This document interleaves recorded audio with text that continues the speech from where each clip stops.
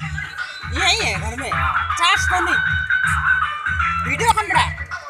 video camera है मेरा charge कर लियो और तो मेरी